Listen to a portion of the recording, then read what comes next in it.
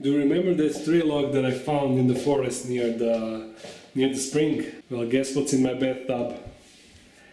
Ta-da!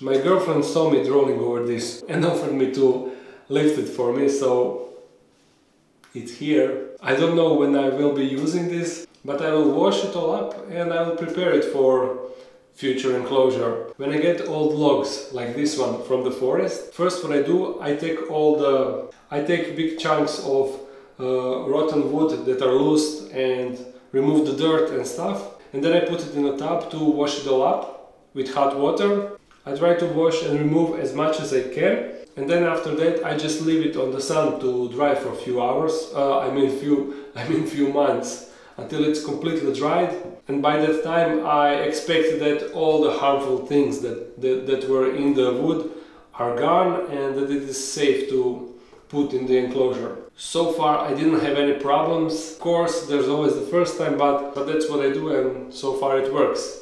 So let's clean it.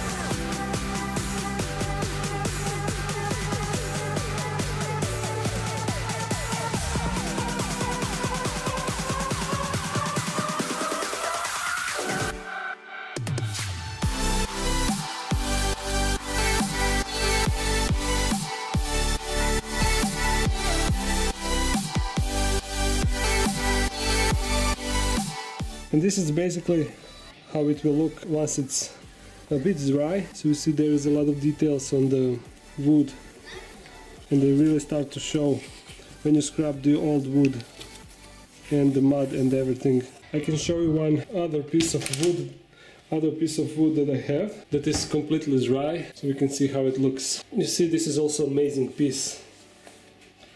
I think that I will use this in Balfouri enclosure or something like that, I don't know, but look how much details it got, especially here. I really like this piece. And once it's completely dry, it is much lighter than it used to be, but still having a having a real wood inside of your enclosure will make your enclosure super super heavy so be cautious about that because if your shelf is not strong enough it can easily bend the shelf or break or something like that. So be cautious when using large pieces of wood. And also before we go to the next thing if you don't already know next week I'm going to London and next Sunday I'm going to BTS Expo the Tarantula Expo. So if you are also going make sure to say hi. And I plan to record a lot there. And I'm going to London Zoo. So you can also expect the video from the London Zoo. They have exhibition about spiders so that will be super super interesting. And what else I also need to record this week three more videos in advance because I won't be at home. So just in case if there is no new video it's because I didn't manage to record it. So sorry in advance if that happens. But I will try and do my best to get it all done before I leave. So yeah exciting days ahead of me. Let's continue. I'm now going to add fake vines that I made in my previous video to the poison dart frog tank so these are the fake vines that I made. I'm not entirely satisfied with how they came out, but, but they aren't that bad. So let's figure it out how to put it inside. I will use these pins to secure them. Oh, they are sh shorter than I expected.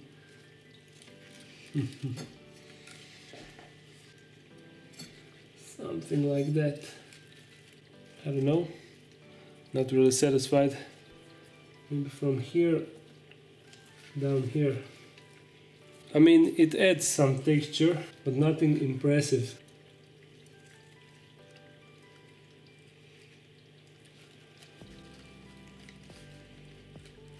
I don't know, I'm not impressed.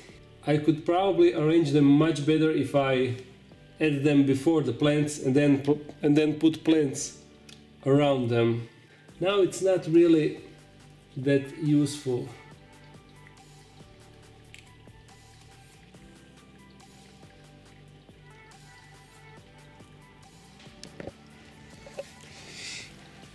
Now you see it is not it's not that big change, but they certainly add something. I don't know what do you think. Now imagine if I have array of vines here and then all of these plants wrapping around them. It would look much better, but it is what it is. I will have to build another paludarium to test it out. Something similar to that pictures that I shared on my Facebook page. That would be legit. Now Let's check out the frogs a bit more. Actually, let's feed them.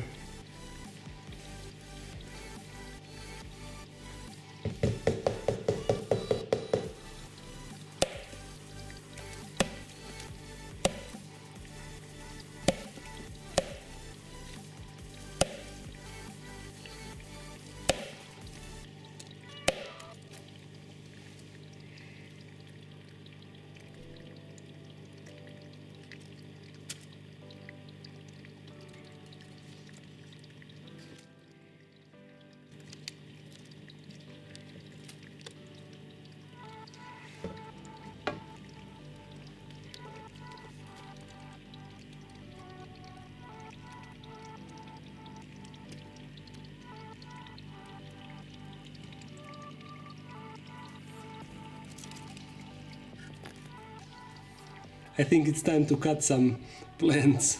They are starting to take over the enclosure once again. And I really like this plant that I added to vivarium, looking really good and spreading a lot.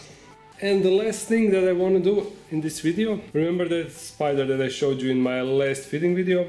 And also the male that I found in the forest. I will try to parry them and see what will happen. Okay, this is how I set it up. I want male to go down there by himself. Since he cannot climb the plastic this is the only way that would enable him to go inside by himself. I will also put a twig so he can go in and out. This is to help him climb in and out. And I will now introduce the male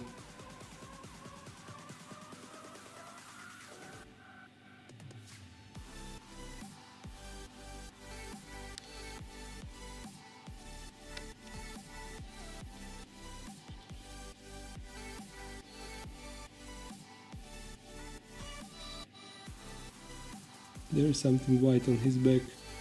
Looks like a spider poop. Yep, and he's trying to remove it. Oh man. Is this a bad timing, bro? It seems that he sends the female.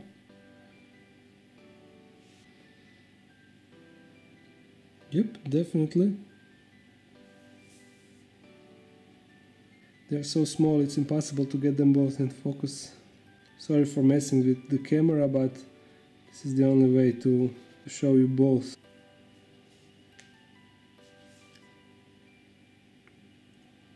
She's turning. They definitely can sense each other. That's the good sign, I guess.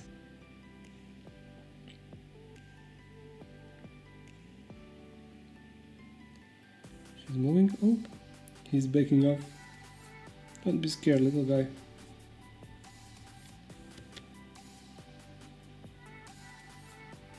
Don't go outside, man.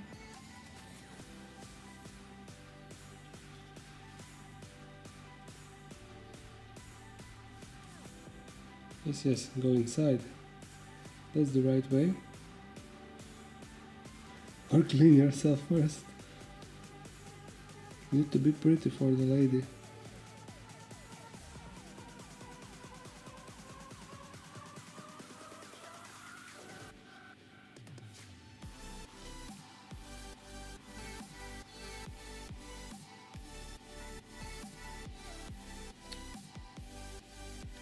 He's definitely sending her signs.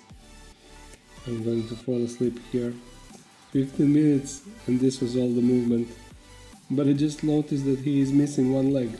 You see, on the left side he got 4, but on the right side, his right side, he got only 3. So I guess this guy is experienced, but he certainly isn't showing that. Come on, little buddy, we believe in you. He's drumming. Come on, female, respond. She doesn't really care about him. Maybe he's not her type. Maybe she likes males that will bring her flowers first.